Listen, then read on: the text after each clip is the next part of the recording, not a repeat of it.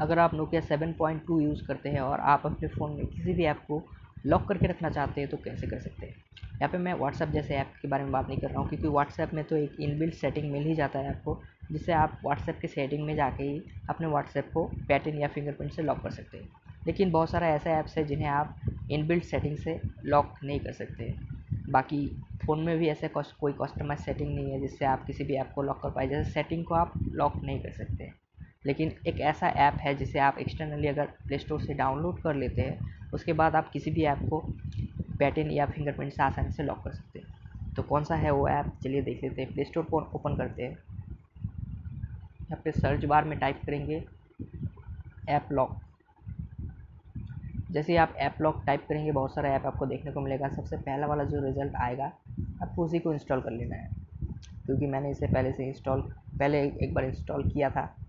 अच्छा काम करता है, इसीलिए मैं आपको ये ऐप रिकमेंड कर रहा हूँ। और ज़्यादा एमबी का भी ये ऐप है नहीं। तो इसे इंस्टॉल करने के बाद डायरेक्टली ऐसे ओपन हो जाइए। ओपन होने के बाद यहाँ पे आपको पैटर्न मांगा जाएगा। कोई भी पैटर्न आप दे सकते हैं अपने मन के अनुसार। तो मैंने ऐसा पैटर्न दिया कंफर्म करूँगा अभी। जैसे मैं इसे कंफर्म करता हूँ तो एग्री टू स्टार्ट अभी मुझे सेटिंग को लॉक करना है तो मुझे सेटिंग में यहाँ पे टैप करना है। जैसे मैं सेटिंग में यहाँ पे टैप करूँगा परमिट मांगेगा। परमिट मुझे दे देना है। पे ऐसे मुझे परमिट दे देना है। तो मैंने परमिट दे दिया, अभी फिर से टैप करूँगा, फिर से एक परमिट मांग रहा है, फिर से मुझे परमिट देना है। तो अभी मेरा मेरा यहाँ पे पूरा रेडी है और मेरा सेटिंग जो है वो लॉक हो गया है, क्योंकि सेटिंग के पास जो लॉक वाला आइकन है वो ब्लू कलर का हो गया तो ऐसे पता करना है कि हमारा सेटिंग जो है वो अभी लॉक हो गया तो सेटिंग को ओपन करके देखते हैं सेटिंग लॉक हुआ है कि नहीं हुआ है।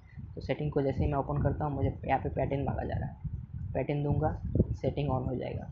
तो ऐसे ही बहुत ही इजीली आप पैटर्न से अपने सेटिंग को लॉक कर सकते हैं। अगर चाहे तो आप इसे फिंगरप्रिंट से भी लॉक कर सकते हैं। इसके लिए आपको ऐप लॉक जो ऐप है आपका, उसको ओपन करना है, उसके सेटिंग में जाना है फिंगरप्रिंट सेलेक्ट करना है। अगर आप, आपको अलग से वीडियो चाहिए तो नीचे कमेंट कर सकते हैं। मैं नीचे कमेंट करने से अलग से एक वीडियो बना दूँगा कि आप ऐप लॉक सेटिंग को फिर से फिंगरप्रिंट से कैसे कर सकते हैं।